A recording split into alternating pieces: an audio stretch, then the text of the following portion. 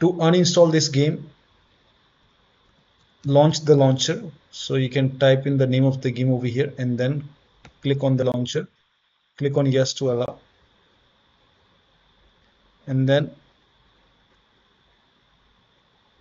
in the launcher you will see game settings over here. Click on game settings and then go to manage and then click on uninstall.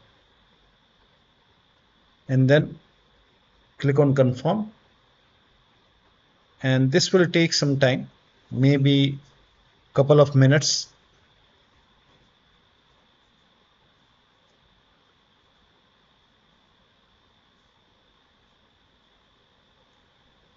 So here you can see the uninstall is complete. That's why you see the download option.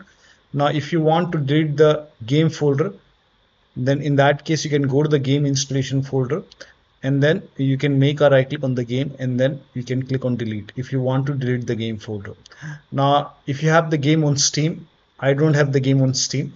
If you have the game on Steam, you can make a right click on the game, select manage, and then click on uninstall.